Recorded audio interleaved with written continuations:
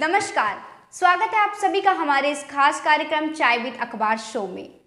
मैं आपके सामने शारदा जायसवाल उपस्थित हूँ। रोज की तरह शुरुआत करेंगे शो का, लेकिन उससे पहले आइए जानते हैं हंसने के बारे में। क्या आपको पता है, जब हम हँसते हैं तो हमारे सत्रह मांसपेशियों की ज़रूरत होती है, और जब वही गुस्सा करते हैं तो तिरालीस मांसपेशियों की ज़रूरत होती है। यहाँ तक कि गुदगुदी लगाने पर सिर्फ़ इंसान ही नहीं हंसता, चूहे भी हँसते हैं। इसीलिए जब हम हँसते हैं तो तनाव जो है वो कम हो जाता है। तो हँसते रहिए और खुश रहिए। हम खबर लाते हैं अखबार से। तो चलिए बढ़ते हैं अखबार की ओर। सबसे पहले नवभारत में। नवभारत में प्रकाशित है खबर। शिवसेना मंत्री शिंदे पर काला जादू। पालघर महाराष्ट्र की महाविकास आघाड़ी सरकार में कैबिनेट मंत्री और शिवसेना के दिग्गज नेता एकनाथ शिंदे के खिलाफ काला जादू करने के आरोप में पुलिस ने दो तांत्रिकों को गिरफ़्तार किया है। पुलिस ने इनके पास से एकनाथ शिंदे की फ़ोटो और पूजा की बरामद सामग्री जो है वो बरामद की है। यह घटना बेहद चौंकाने वाली है कि आखिर दुश्मन कौन है? पुलिस छानबीन कर रही है। चलिए बढ़ते हैं दूसरी खबर की ओर। करण जौहर को एनसीबी का समन नारकोटिक्स कंट्रोल ब्यूरो ने धर्मा प्रोडक्शन के मालिक फ़िल्म डायरेक्टर करण जौहर को समन भेजा है। एनसीबी सूत्रों से मिली जानकारी के अनुसार पकड़े गए ड्रग्स पेडलर की नि, निशानदेही पर करण जौहर को समन दिया गया है।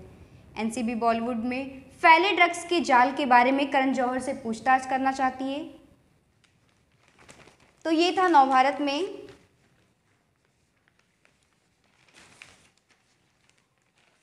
वहीं एक और खबर है विरार से। विरार में नाबालिग से दुष्कर्म। 11 वर्षीय नाबालिग लड़की के साथ दुष्कर्म करके मामला सामने आया है। घटना के चार दिन बाद आरोपी राजू ने भी उसके साथ ज़बरदस्ती की। मतलब उसको मारने की धमकी दी गई और उसके साथ दुष्कर्म किया गया। उसके बाद एक राजू आरोपी है, उसने भी उसके साथ ज़बरदस्ती शारीरिक संबंध बनाया।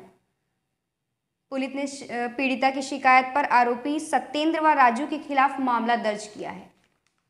चलिए बढ़ते नवभारत टाइम्स की ओर। नवभारत टाइम्स में प्रकाशित है 206 करोड़ रुपए में हाईवे बनेगा चकाचौक।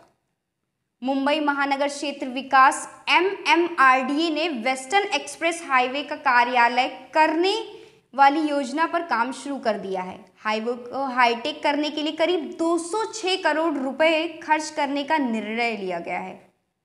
यानी हाईवे को गड्ढा मुक्त करने के साथ ही उसकी सिग्नल प्रणाली में सुधार, lane marking, service road, footpath, drainage system, ये सारी सुविधाएँ होंगी। बढ़ते हैं यशुभूमि अखबार की ओर, उसमें प्रकाशित है, मुंबई में 206 अनधिकृत स्कूल। मुंबई मनपा के शिक्षा विभाग ने मनपा क्षेत्र में अनधिकृत स्कूलों की सूची जारी की है। सरकार और मनपा की स्वीकृति के बिना सरकार शहर और उपनगरों में 206 स्कूल शुरू है। इसके लिए आ, सरकार ने बंद करने के निर्देश दिए हैं। और वही दूसरी खबर है मुंबई में लगेंगे तीन लाख सीसीटीवी कैमरे। मुंबई में अपराध पर पूरी तरह से नज़र रखने के लिए मुंबई पुलिस ने तो सभी सड़कों और चौराहों पर सीसीटीवी इंस्टॉल कर दिए। यानी कि सभी गलियों पे और मुंबई के सभी गलियों और सभी चौराहों पर जो भी अपराध होंगे, वो सब सीसीटीवी के थ्रू कैप्चर होगा। तो ये था आखिरी खबर। आज के लिए बस इतना ही। अलविदा। कल मिलेंगे नए अखबारों के साथ।